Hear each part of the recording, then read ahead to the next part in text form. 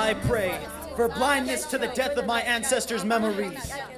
I pray for the discord of my two hearts to unify under the harmony of a pulse. Or I could change I the world and turn it upside down and spread it all around. I got to stop, I got to stop.